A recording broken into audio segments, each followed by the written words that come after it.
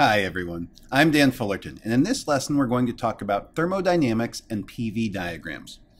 Our objectives are going to be to understand that energy is transferred spontaneously from a higher temperature system to a lower temperature system, to explain the first law of thermodynamics in terms of conservation of energy involving the internal energy of a system, and to represent transfers of energy through work and heat using PV diagrams.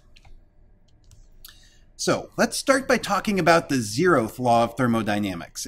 Why is it the zeroth law? They came up with it after they'd come up with the first three laws and decided, you know, we need to have this one first in order for everything else to work out.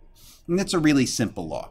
What it says is that if object A is in thermal equilibrium with object B, and object B is in thermal equilibrium with object C, then object A must be in thermal equilibrium with object C kind of a simple concept, but you need to have that established in order to allow the other laws to all work out. Now, the first law of thermodynamics is something that's going to be slightly more applicable at this point. It says the change in internal energy of a closed system is equal to the heat added to the system plus the work done on the system. Or delta U, the change in internal energy, is equal to Q, where positive Q is heat added to, and W is work done on the system. What this really is, is a restatement of the law of conservation of energy. Again, where positive Q is heat added to, positive W is work done on the system.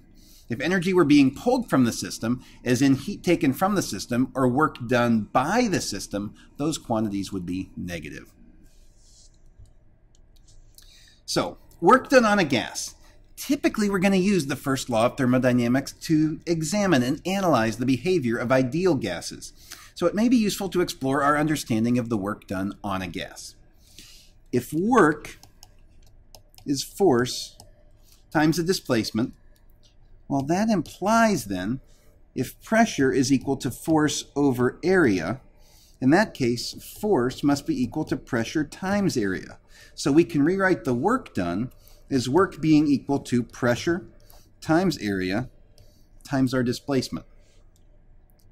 But we also know that change in volume, delta V, is going to be the area times the change in the linear dimension, delta R. And by convention, because we're calling work done by the system negative, work done on the system is positive, we'll make that negative.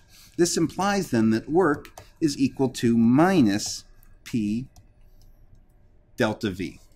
And that will be very useful as we analyze ideal gas systems. So, sample problem one. 5,000 joules of heat are added to a closed system, which then does 3,000 joules of work. What is the net change in the internal energy of the system? Well, internal energy, change in internal energy is heat added to the system plus work done on the system, which will be 5,000 joules are added to the system, but the system does 3,000 joules of work, so that's going to be negative. Therefore, the total change, the net change in the internal energy of the system must be 2,000 joules. Taking a look at an expanding gas problem. A gas is expanded at atmospheric pressure, or 101,325 pascals. The volume of the gas was 5 times 10 to the minus 6 cubic meters.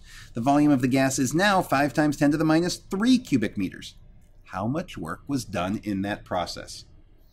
Well, let's start off by looking. Work equals minus P delta V or minus P, and remember delta anything is its final value minus its, minus its initial value. So that will be final volume minus initial volume which is negative our pressure, 101,325 pascals, times our final volume, 5 times 10 to the minus 3 cubic meters, minus the initial volume, 5 times 10 to the minus 6 cubic meters. And when I put all that into my calculator, I find that the amount of work done was negative 506 joules. Why negative? Because the gas did the work. All right. Let's take a look at PV diagrams, pressure volume diagrams. These are useful tools for visualizing thermodynamic processes of gases. We put pressure on the y-axis, volume on the x-axis, and the amount of gas remains constant. So from the ideal gas law, if PV equals nRT, our constants in this case are going to be N and R, not changing here. So we can find pressure from the graph, we can find V from the graph, and knowing N and R are constant, we can also find temperature using some calculations from the graph. All right. As you transition from state A to state B on a PV diagram, notice that the volume increases and the pressure decreases. The work done is the area under the curve. So as you go from A to B, the work done would be that area there. And as the volume expands, the gas is doing work, so W would be negative, and as the volume compresses, work is done on the gas, so W would be positive by our sign convention. Now also note that temperature rises as you travel up and to the right on a PV diagram. So temperature increases as you head in that direction. So let's take a look at a PV diagram problem. Using the diagram below, find the amount of work required to transition from state A to state B, and then the amount of work required to transition from state B to state C. Well, as we go from A to B, work done in going from A to B, notice there's no area under the graph. It's a straight line. Therefore, the work done there must be 0. But how about from B to C?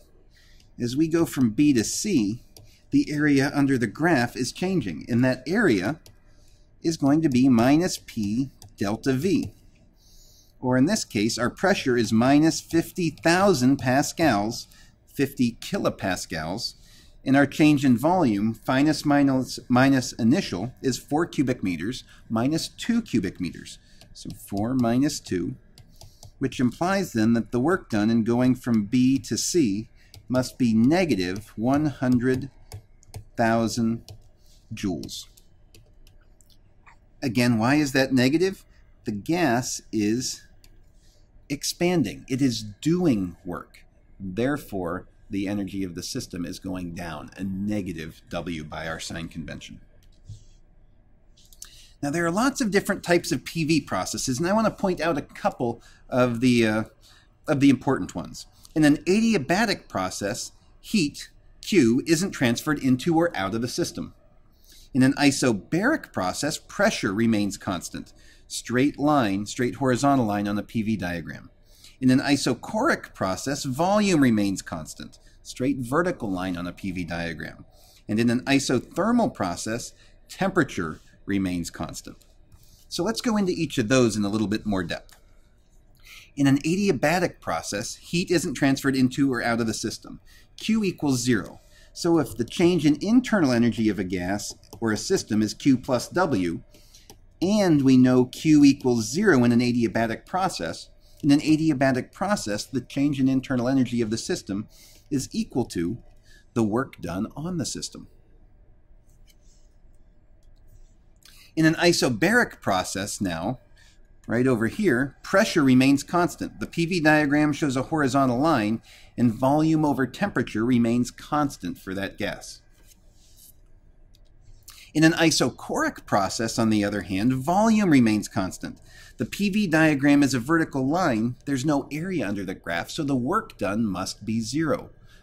Therefore, pressure over temperature also remains constant. And finally, in an isothermal process, temperature remains constant. The lines on these PV diagrams are called isotherms. PV remains constant, and the internal energy of the gas, therefore, must remain constant. So let's do another sample problem here, an adiabatic expansion problem. An ideal gas undergoes an adiabatic expansion doing 2,000 joules of work. How much does the gas's internal energy change? Well, if it's an adiabatic expansion, remember that means that Q is equal to zero.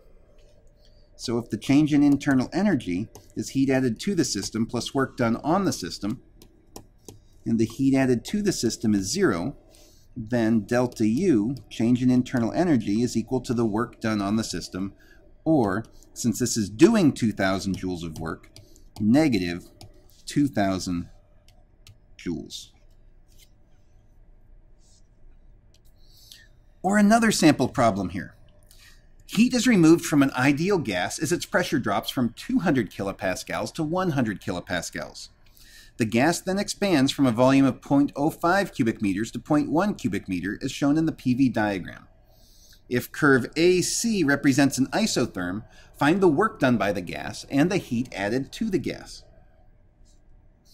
Well, the work done as you go from A to B must be zero, and the work done in going from B to C, well, that's just going to be minus P delta V again or negative 100,000 pascals times our change in volume, final minus initial, or 0.1 minus 0.05 cubic meters, which gives us negative 5,000 joules. That must mean that we have 5,000 joules of work done by the gas. The gas is doing the work. That's what that negative sign means. All right, now we're also on an isotherm, so change in internal energy, delta U must be constant. So if delta U is equal to zero, that must also be equal to Q plus W. Therefore, Q must equal negative W, or Q equals 5,000 joules they must have added 5,000 joules of heat to the gas.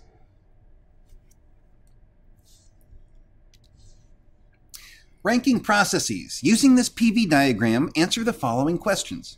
During which process is the most work done by the gas? Well, if the gas is doing the work, we must be going to the right on the volume scale, and that occurs as we go from A to B because you have the most area down there. So that must be the A to B process. During which process is the most work done on the gas?